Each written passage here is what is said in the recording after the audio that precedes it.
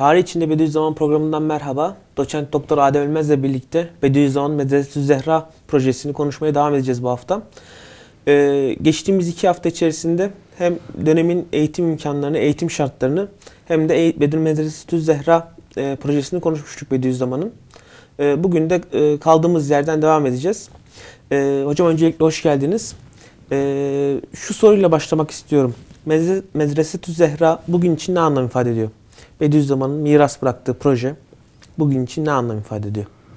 Aslında Medresetü Zehra dar anlamıyla şarttaki e, aşiretler ve topluluklar için geniş anlamıyla alemi İslam hatta bütün insanlık için e, bir yaşam perspektifi sunuyor.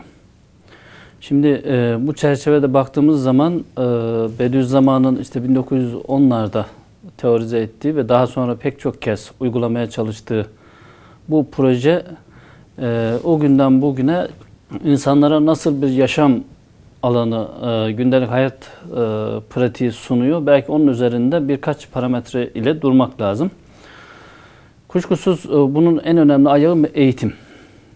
Onun dışında toplumsal boyutu, idari boyutu e, ve toplumun e, mali ve eğitim açısından diğer pek çok alanda gelişmesini sağlayan yönlendirici özellikleri var.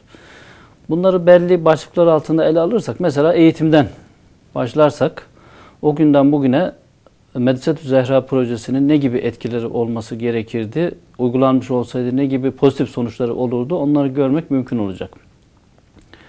Kuşkusuz bunları e, geçtiğimiz haftalardaki programlarda ya konuştuğumuz diğer projelerle birlikte değerlendirmek lazım. Onları önceki haftalarda atıfta bulunduğumuz için e, tekrar etmeyeceğiz. Ancak e, Bediüzzaman Medresetü Zehra projesinin bugüne bakan yönleri üzerinde belki duracağız.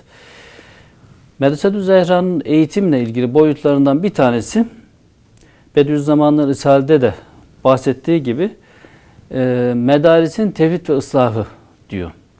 Şimdi 1910 şartlarına bakıp o günden belki bugüne gelmek lazım. Tevhidi medaris, tevhidi tedrisat, eğitimin birleşmesi, birlik meselesi hep tartışıla gelmiş bir konu. Kuşkusuz bunu Sultan 1. Mahmut döneminde 18. yüzyılın ilk yarısında açılan ilk e, mektep denemelerinden bu yana ikileşmiş e, eğitimi tek çatı altında nasıl toplayabilirizin e, cevabını veriyor burada. Orada bir soru sormak istiyorum. Ee, Osmanlı'daki medreselerin e, yani tek tip olduğundan veya hani e, benzer müfredatlara sahip olduğundan bahsedebiliyor muyuz? Yani hani farklı geleneklerin medreseleri, e, farklı e, tarikatların medreseleri aynı e, yani ne kadar benzerdi birbirlerine? Bununla ilgili bir bilgimiz var mı?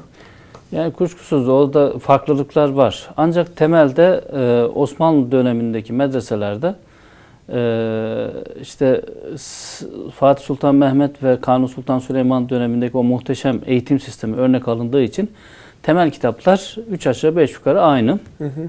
Ama birisi, birisi baş, birinin hukuk kitabını okurken ötekisi başka birisinin okuyabiliyor.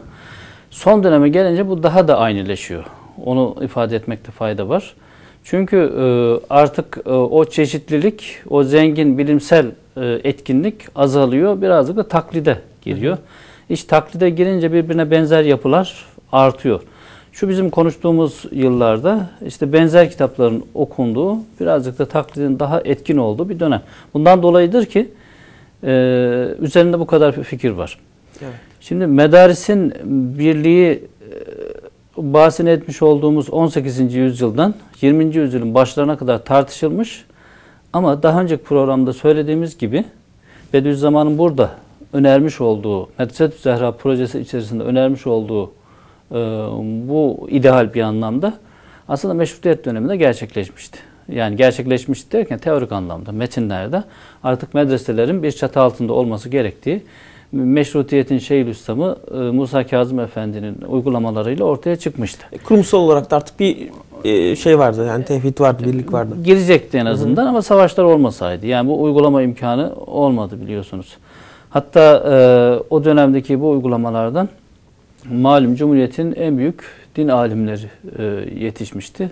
İşte Ömer Nasuh Bilmen, e, Hamdi Yazır, e, Ahmet Hamdi Akseki gibi e, Cumhuriyet döneminde de eserler vermiş alimleri yetiştiren kurumlar nedir sorusu işte burada meşrutiyet medreselerinde okumuş insanlardır. E, burada geçen hafta söylediğim bir şeyi bir kez daha tekrar etmek istiyorum. Bediüzzaman e, İttihat ve Terakki'yi iki konuda takdir ediyordu. Onlardan birisi eğitim.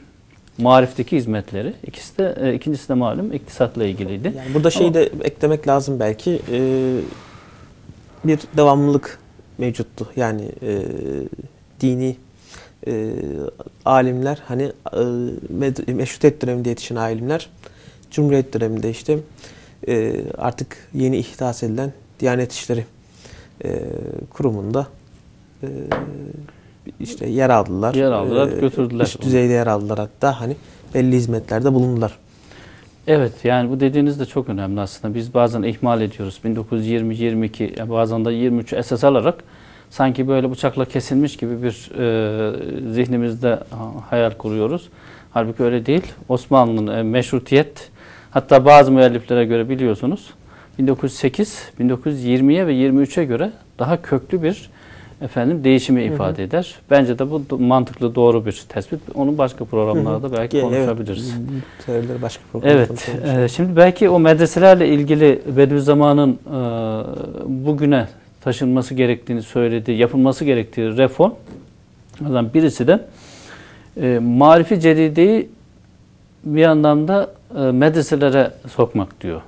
Yani Medresetü Zehra'nın yapacağı fonksiyonlardan birisi yeni fenleri medreselerin dersleri haline getirmek. Şimdi bunu e, kısmen işte meşrutiyet e, reformlarıyla gerçekleşiyor bu. Bu ma marifi cedide dediğimiz e, özellikle fen ilimleri, efendim yeni fenler, coğrafya, beden eğitimi, e, yabancı dil vesaire bunlar medrese dersleri içerisine girmiş oluyor.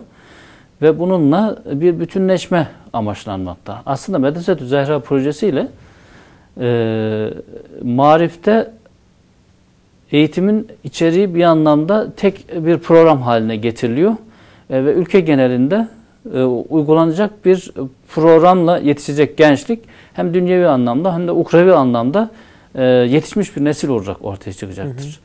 Bu anlamda işte yeni fenlerin de medrese programlarına girmiş olması bunun biraz sonra söyleyeceği başka bir maddeyle birleştirirsek aslında mekteple medresenin birleşmesi demek oluyor. O meşrutiyet reformlarıyla da biliyorsunuz bu amaçlanmıştı.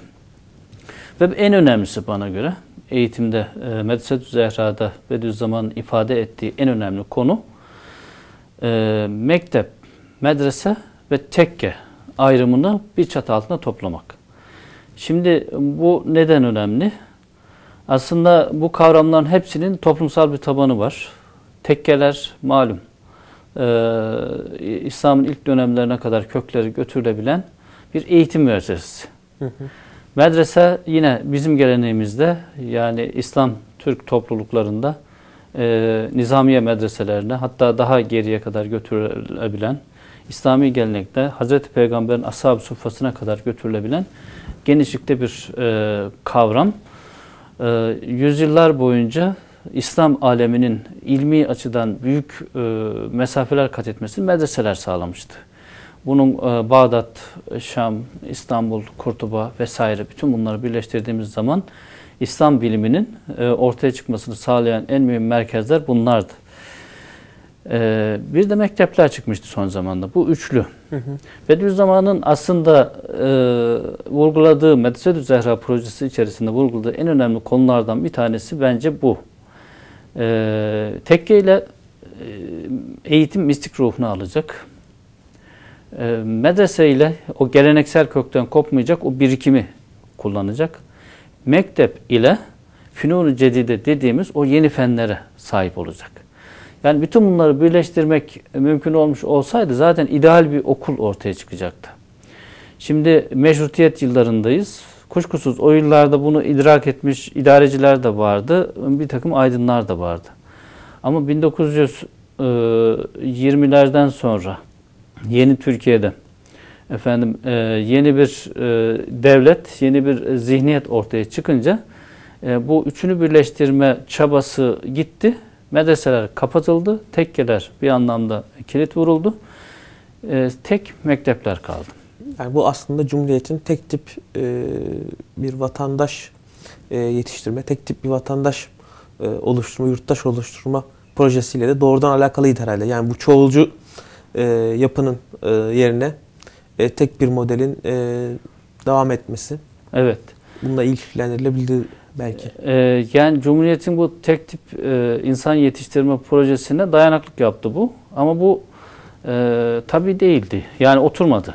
E, zaman içerisinde mesela bugün insanların İmam Hatip liselerinin ciddi bir ihtiyaç olarak görüp çok fazla okulların açılması aslında bastırılmış bir takım e, e, isteklerin e, tezahür etmesinden başka bir şey değil. Siyaset ya da şu bu vesaire bunlar araç oluyor ayrı bir konu. Ama bu bir ihtiyaç toplum tarafından e, makes görmese bunlar böyle olmaz. Şimdi 1910'dan bahsediyoruz. 2014'ten aradan 100 yıl geçmiş. E, sanki e, bu aradaki 80-90 e, yılda ne bileyim 100 yılda e, buzdolabına kaldırılmış bir konuda yeniden böyle servis yapılır gibi bir şey. Hı hı. E, bu tabi biraz da şununla ilgili. E, meşrutiyet döneminden sonra buzdolabına kaldırılmış, dondurulmuş, e, normallikten çıkarılmış bir topluluğun aslında normalleşmesidir. Hı hı. E, zaten bana göre eğitimdeki e, yapılanlar da bir takım karışıklıklarla birlikte e, normalleşme çabasıdır. Bu başka alanlarda da öyledir. Mesela bu konumuzda çok ilgili değil ama bu e, terör meselesinin çözümü meselesi falan da aslında o ulus devletin baskısı altında ezilmiş bir topluluğun kim, kimliğini kazanması diğer bir ifadeyle normalleşme tezahürleridir.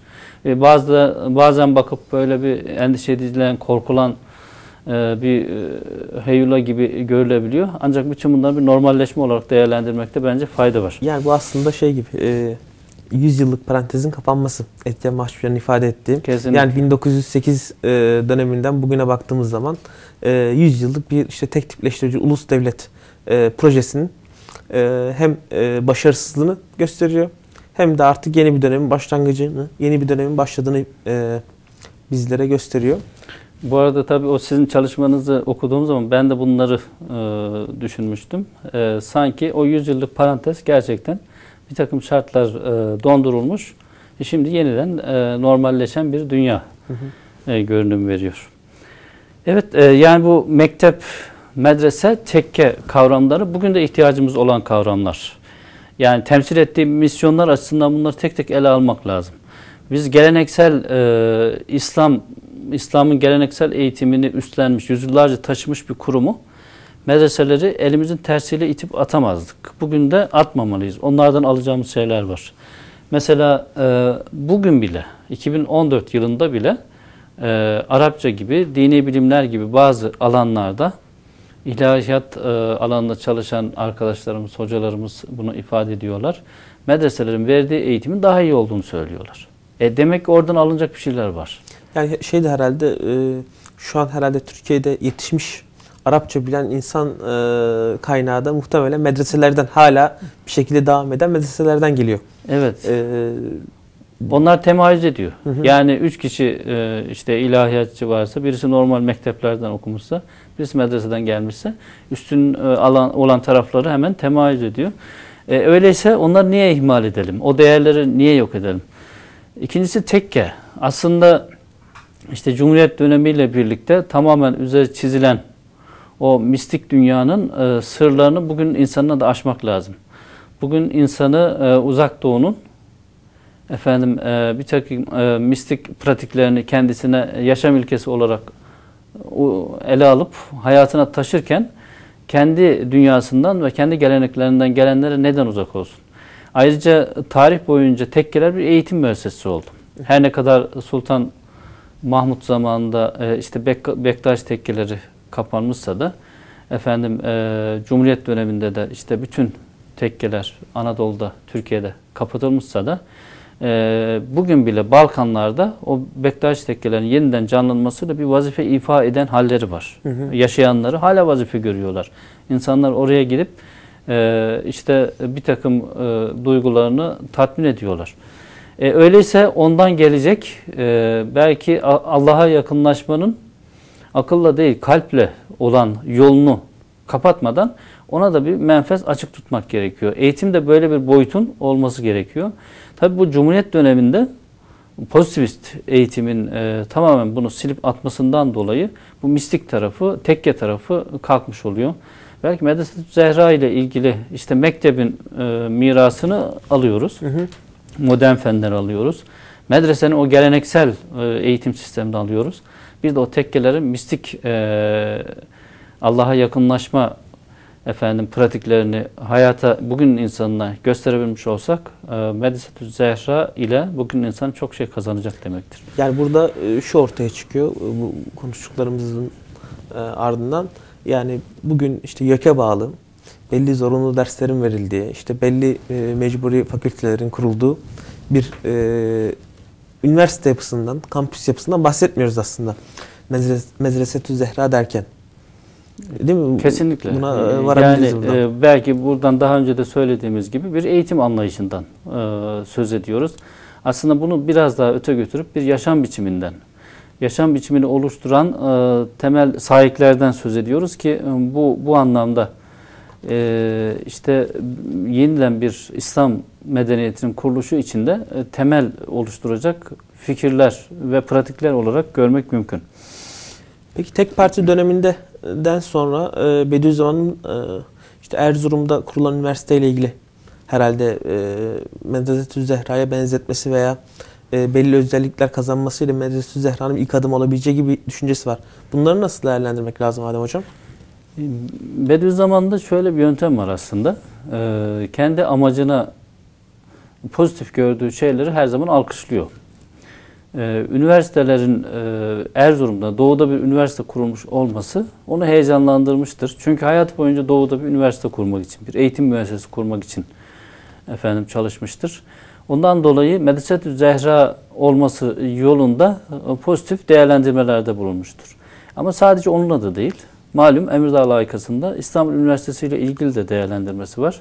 Bu şu anlama geliyor. E, bütün üniversiteler bunu teşmil edebiliriz. Aslında e, şu anlayışların hakim olduğu bir eğitim anlayışı artık Medisetü Zehra'dır. Yani çatısının üstüne Medisetü Zehra yazısını yazıp e, bu Medisetü Zehra deyip içinde e, bir takım işte dersler koyup Medisetü Zehra'yı kurduk demekle bu iş olmaz. Eğitim anlayışını kökten e, yerleştirmekle olur. Daha önce konuştuğumuz ilkelerle birlikte bütün bunlar dikkate alarak belki sonuçla e, Medisetü Zehra'nın sonuçlarını verecektir. Tabi toplumsal sonuçları da var. Yani İslam alemini ilgilendiren sonuçları da var. Ee, mesela Medisetü Zehra'yı tanımlarken Bediüzzaman e, merkezi Bitlis'te bir yanı Van, bir yanı Diyarbakır. Gerçekten de öyle coğrafi olarak. E, Doğu Anadolu, Bitlis, e, bir elini Van'a, bir elini de Diyarbakır'a koymuş bir Bitlis düşünün. Hı hı. Ve bunu bir eğitim e, seferberliği olarak düşünün. E, Doğu Anadolu'nun e, bir anlamda sıçraması, gelişmesi, e, her, alanda kendisini yenilemesi demektir. E, o günün şartları içerisinde 1910'lu yıllarda işte e, içerisinde çeşitlilikleriyle birlikte e, doğu kentleri var. İşte aşiretleri, Hamdi ağla, Hamdiye alayları, ağaları, şeyhleri vesaire. Onun aslında en önemli eksiğini söylüyor. Bu olabilmiş olsaydı 1910'da orada köklü bir eğitim reformu olmuş olsaydı e, sonraki yıllar için e, bölge e, belki de örnek bir nitelikte vazifesini görecekti. Ama olamadı. Artık olamayınca daha sonraki yıllarda manevi anlamda Risale-i Nur'un o vazifeyi gösterdiğini söyledi. Şimdi tabi bunun bir başka boyutta İttihad-ı İslam. Hı hı.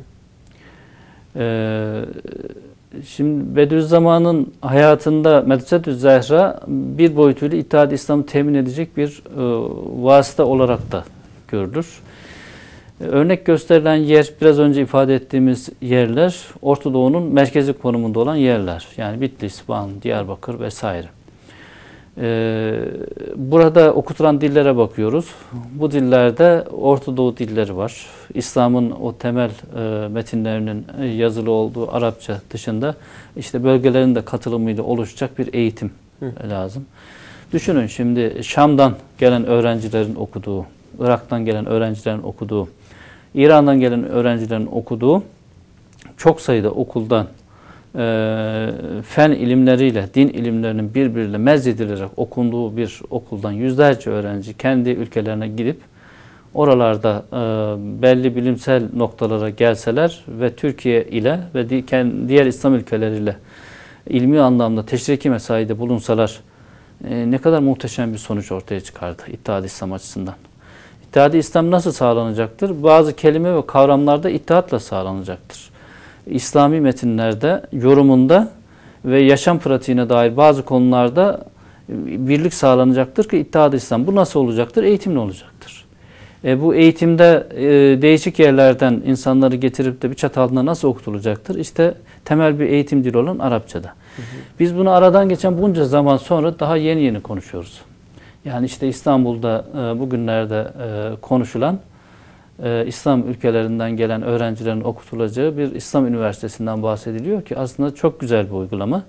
Burada Bediüzzaman'ın bahsetmiş olduğu Medresetü Zehra projesinin bir, anlam, bir anlamda o vazifeyi görecek bir üniversite. Belki projelendirirken bu fikirlerde dikkate alınırsa çok da hoş bir sonuç ortaya çıkar. Aradan 100 yıl geçmiş. Tabi bazı ufak tefek e, pozitif örnekler e, yok değil, var. Ancak yeni yeni böyle bir İslam Üniversitesi kurma düşüncesinin oluşmuş olması bu da pozitif bir şey. E, ama tabi e, Bediüzzaman'ın önermiş olduğu ilkelerden de burada faydalanmak lazım. Özellikle e, fenlerin, din ilimlerinin efendim okutulması, dillerin kullanılması bakımından Bediüzzaman'ın e, önermiş olduğu fikirleri de belki bu üniversiteler kurulurken dikkate almakta fayda var. Yani orada aslında öğ- bugün baktığımızda öğrenci değişim programlarının Avrupa'da yaygın e, olan öğrenci değişim programlarının e, bir modeli, değil, farklı bir model, Erasmus'un farklı bir modeli gibi. Ve sadece hani e, birlikte eğitim almak değil, sadece tanış olmak bile e, çok önemli, e, çok faydalı olabilecek bir şey. Aslında bu pratik e, sizin söylemiş olduğunuz çok güzel bir örnek. E, insanlar yapa yapa öğreniyor. Avrupa ile bu ilişkiler İttihad-ı İslam'ın da bir vasıtası olabilir. Neden olabilir? Avrupa ile e, insaniyet noktasında kurulan bu birliktelik İslam ülkeleriyle de hem insaniyet hem de İslamiyet noktasından bir birlik şeklinde tezahür etmiş olsa aslında İttihad-ı İslam gerçekleşecek demektir. Yani e, bugün e, uygulan, kısmen uygulanmaya başlanmış işte Arap ülkelerinden gelen öğrenciler var. E, Ankara'daki, İstanbul'daki özellikle hatta işte Güneydoğu'daki üniversitelerde de var. E, bunlar bizden de oralara giden öğrenciler ve bir, bunların eğitim programları da düzenlenmiş olsa öğretim üyesi değişimi de e, var. Bunlar biraz daha düzenli ve gelişmiş bir hale getirmiş olsa aslında e, Avrupa Birliği örneğinden hareketle e, İttihat-ı İslam'a e, gidiş olacaktır. Zaten İttihat-ı İslam fikri Avrupa Birliği gibi insanların e, gelişmesine, insanların efendim barış içinde yaşamasına müsait diğer fikirlerin zıttı değil, destekleyicisidir. Evet, e, şimdi burada belki Medresetü Zehra'nın başka fonksiyonlarından da bahsetmek lazım. Onlardan bir tanesi Bediüzzaman'ın ifadesiyle e, diyor ki mehasini meşrutiyete kapı açmak diyor. Yani şimdi e, bu demokrasi için insanları bilinçlendirmek şeklinde şimdi ifade edebiliriz bugünkü ifadeyle. Meşrutiyetin güzelliklerini insanlara göstermek. E, demek ki e, Medresetü Zehra projesi uygulamış olduğu eğitim programları ve eğitim anlayışıyla öğrencilerine e, bugünkü anlamıyla demokratik bir eğitim anlayışını aşılayacak. Çevresindeki topluma ve insanlara o demokrasiyi yaşama imkanı verecek ve e, oradaki aşiretler, toplum, e, alemi İslam demokratikleşmesine katkıda bulunacak. Ya bir endokrinasyon merkezi olmayacak burası. Evet. E, yani modern eğitim e, sisteminde gördüğümüz bir e, okul mantığında olmayacak. Evet. e, yani e, o e, işte sıkı kalıplar içerisinde insanları sınırlayan bir eğitim müessesesi değil, bir anlamda toplumu da biçimlendiren, şekillendiren. Zaten bütün eğitim kurumlarının topluma etkisi vardır ama pozitif etkisini artıran bir kurum vazifesini görecek. E şimdi aşiretler var. E, doğu'da ilk kurulduğu dönemleri düşünürsek, e, aşiretlerin meşrutiyete bakışını sempatik hale getirecek o günün şartları içerisinde. Evet. Bugün baktığımız zaman daha düne kadar Türkiye'de hatta bugün bile dünyada e, İslam demokrasi konusunda tereddütü olan İslami kesimler var. Onların belki işte e, İslam e, Müslümanların demokratik pratiklere yakınlaşmasını sağlayacak bir kurum olacak. Dolayısıyla mehasini, meşrutiyeti insanlara göstermekle İslam toplumlarında şu anda en büyük ihtiyacı olan demokratikleşmesini sağlayacak. Demokratikleşmesine katkı sağlayacak. 1910 e, o gün meşrutiyet var. Meşrutiyet problemli bir e, demokratik uygulama dönemi. Ondan sonra Türkiye ne badireler atlattı.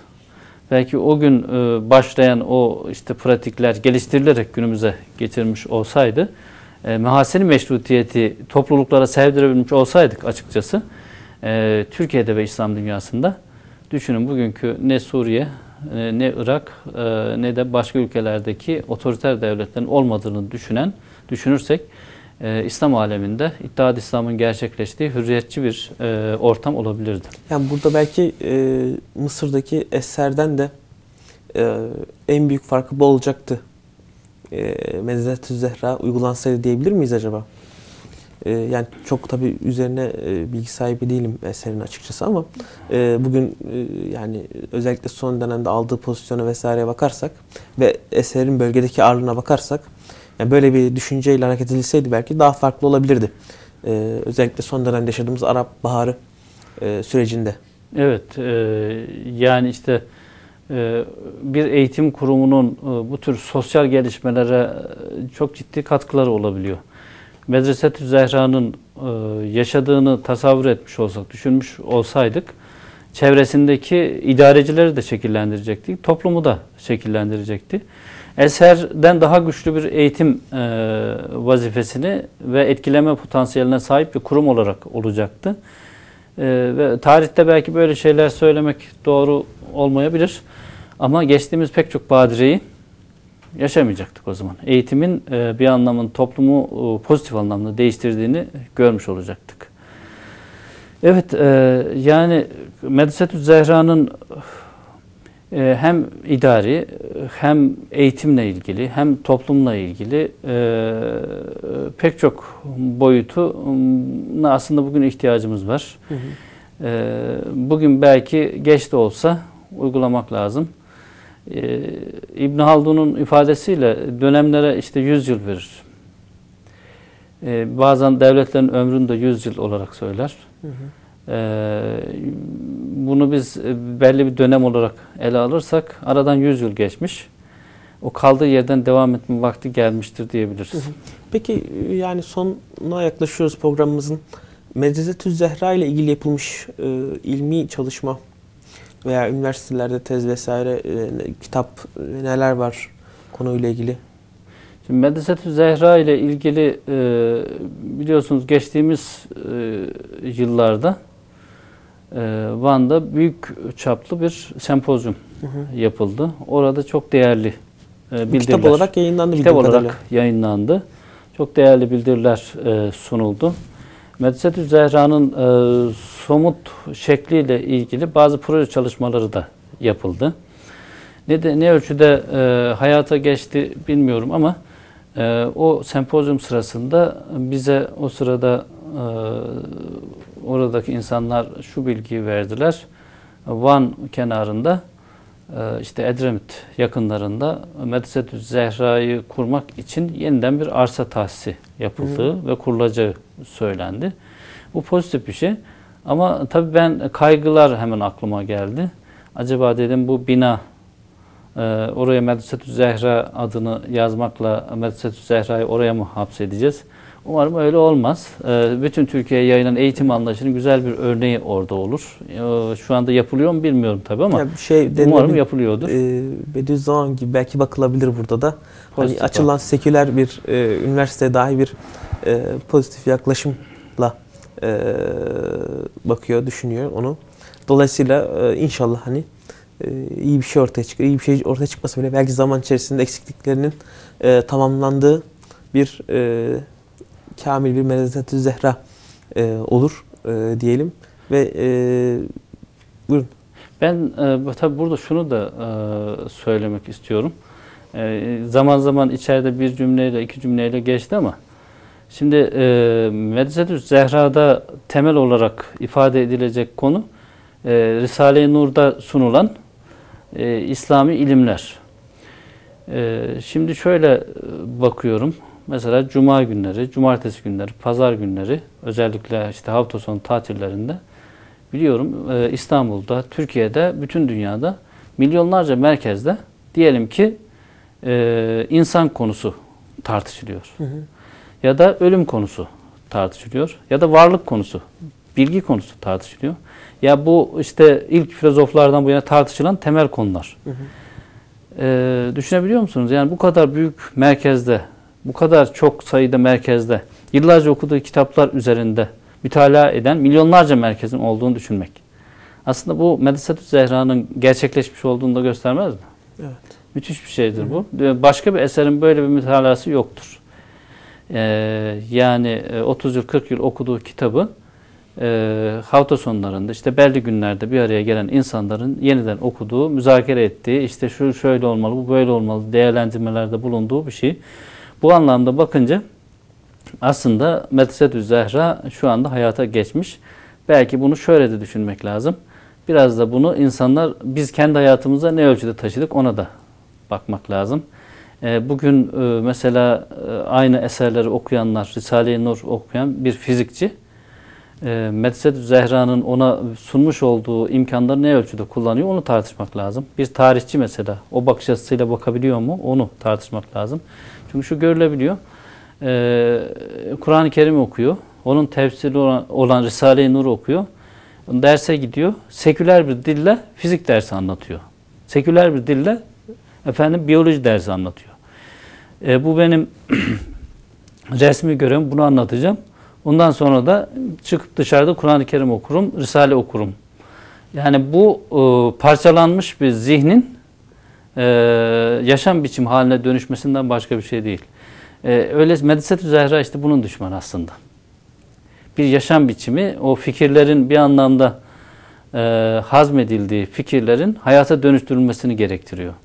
Belki onu e, tek tek bireyler olarak e, Kur'an talebelerinin bunu yapması gerekiyor. Belki hayatına taşıması gerekiyor bu Medresetü Zehra'yı.